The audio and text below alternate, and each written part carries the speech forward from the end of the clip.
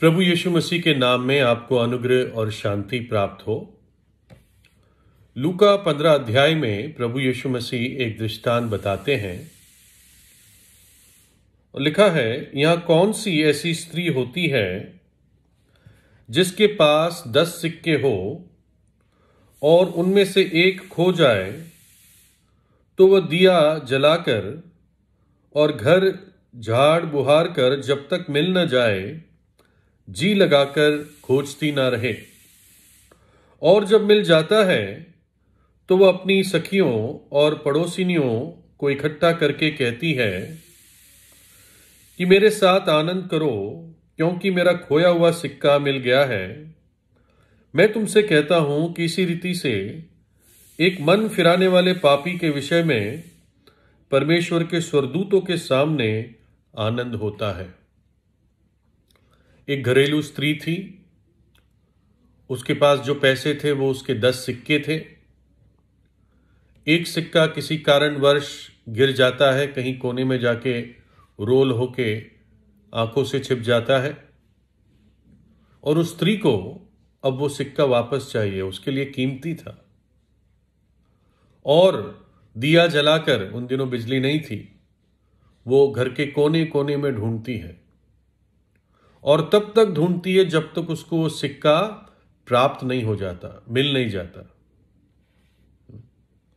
क्यों इतनी चिंतित थी? क्योंकि कीमती था। और जब वो सिक्का मिल गया उसे तो अपनी सखियाँ और पड़ोसिनियों को बुलाकर, उनके पास जाकर, उनसे कहा, मेरा सिक्का खो गया था, लेकिन अब मुझे मिल गया है, आओ, हम आनंद करें। मेरे घर आओ मैं तुम्हें दावत दे रही हूँ। क्या उसको कोई और सिक्का मिला? क्या दस के ग्यारह हुए? नहीं। दस के नौ हो गए थे। जब ढूंढा तो नौ के फिर दस हो गए। कुछ एक्स्ट्रा नहीं मिला, लेकिन अद्भुत आनंद मिला। कहने लगी, मेरा खोया हुआ सिक्का मुझे वापस मिल गया। प्रभु यीशु ने दृष्टांत क्यों बताया? वो ये हमें समझाना चाहता है कि मैं और आप वो खोया हुआ सिक्का है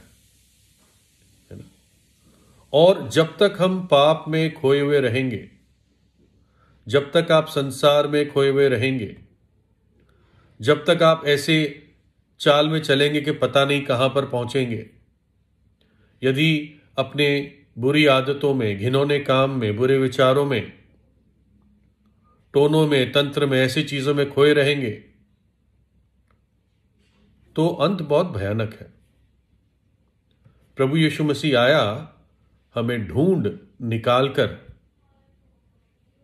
एक पवित्र जीवन में लाने के लिए।